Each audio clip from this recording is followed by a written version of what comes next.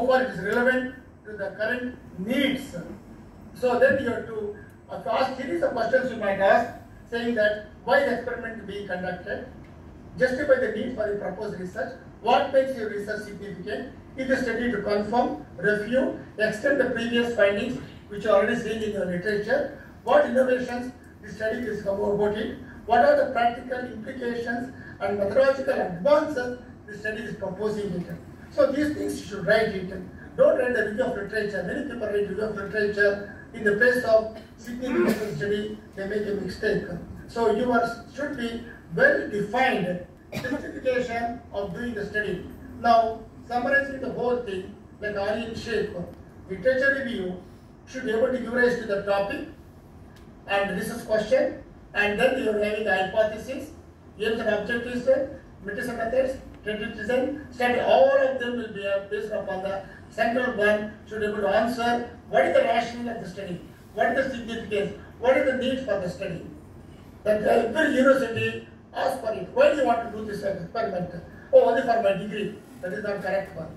Degree is of course you have to get the degree, but there should be some benefit to the university, to the science also. That is also very important. The final protocol looks like this way. Will have a title. Introduction contains the background information, short review of the literature, research question, hypothesis, then object is one, the need for the study, literature review, long one you write it, methodology, study design, static analysis, work schedule, how you can finish in about uh, 12 months, one year study, references. Now summarizing the whole thing, so I hope I'm on time. The fundamental principles of scientific research are the formulation of the problem, is the problem finding is an umbrella concept, the development of a study protocol or research plan, and the description of what, why, and how. These three you must answer in your protocol. Of the protocol, literature search and review, study designs, statistical aspects, result analysis, data interpretation. How do you do it? All these things are proposed. Our initial vision for a study largely shapes our actions, approaches, analysis methods, interpretations, and societal impact. That is the need for the study. That is the one which you should do it. Ultimately, the study should be suitable for publication. Whatever you do, you must always think about it that my study should be able to be publishable. Not is going not going to remain only as a decorative piece in the library shelf as thesis. No, it has to find some moksha that is in terms of final goal, the publication. The scientific value or merit of published article based upon its merits, how far it is significant, how much it sounds, whether it is worthwhile or not investigate. The scientific enterprise requires a lot of thinking and imagination before one puts ink on the paper.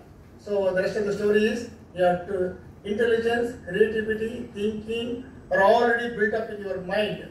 Your everybody has got this one, but you require a motivation from your guide, from your surroundings, from your friends, and as apply your skills and environment, person, personality, trait the perseverance, and learning strategy is very important. Perspiration, hard work, for 12 hours work, persistence, you must persist in your work. Then only succeed. That is the predicted growth in research achievement over the time. The project should be written with the ink of creativity, intelligence, and hard work. So, uh, thank you very much for listening to my short talk. These are all explained in our, our first book, which I published in 2010. This book, Dr. Balkumar has got a copy of this one.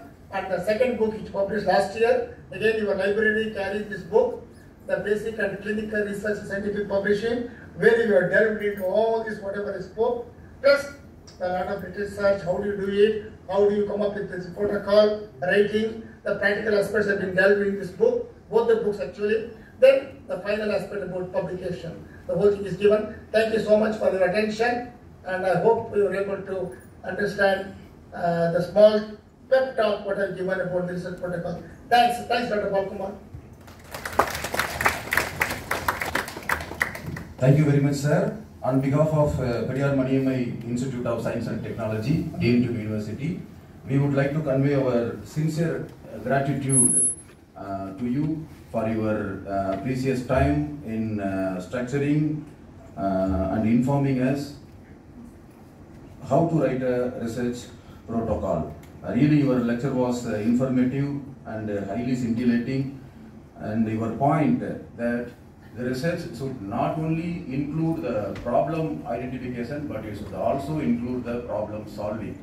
So we need to find out uh, ways to solve a problem that is the primary component of the research rather than finding a research problem. Of course, that is certainly very important to find a research problem, but we need to find the right way to solve a problem that makes a research complete. That point is very well uh, received, sir. Uh, really, we are very grateful to you because you are delivering the lecture, I think, at night at 12.30, sir. What is the time uh, in years? What is the time? it's, uh, twelve, twelve past midnight.